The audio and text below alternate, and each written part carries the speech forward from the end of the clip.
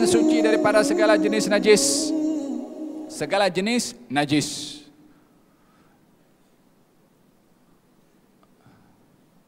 Najis yang dimaksudkan di sini adalah najis yang tidak dimaafkan. Ada najis yang dimaafkan. Apakah najis yang dimaafkan? Najis yang dimaafkan ini adalah najis yang tidak nampak dengan mata. Contohnya lalat hinggap di bangkai.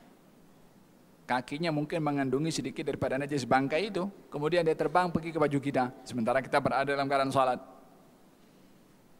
Ini najis yang tidak dinampak oleh mata. Maka ini adalah perkara yang dimaafkan. Tapi najis yang tidak dimaafkan, maka uh, tidak boleh ada kepada seseorang yang salat baik pada pakaiannya atau badannya atau kepada tempatnya. Yang ketiga menutup aurat. Laki-laki pusar sampai ke lutut, perempuan seluruh tubuh badannya kecuali wajah dan juga telapak tangan.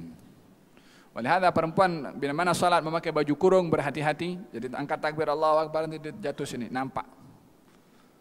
Maka kalau nampak auranya ternampak maka hendaklah tutup dengan segera. Kalau dibiarkan lama akan menyebabkan tidak sahnya salat disebabkan oleh kerana syarat sah salat menutup aurat.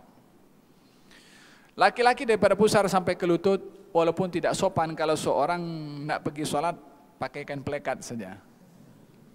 Memang sah tetapi tidak sopan karena apa? Orang nak pergi kenduri kawin uh, uh, bajunya dimasukkan di dobi. Uh, nak pergi acara-acara perjumpaan meeting, dia rapi. Nak jumpa dengan Allah, Allah tak tengok rupa. Allah tak tengok pakaian, Allah tengok hati. Pandai dia berhujah dengan Allah Subhanahu taala.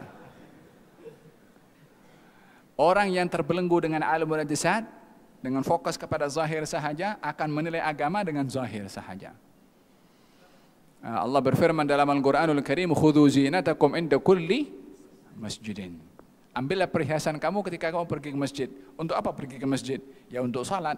Apa perintahnya Allah kepada orang yang pergi ke salat? Khudhu zinatakum. Ambillah perhiasan.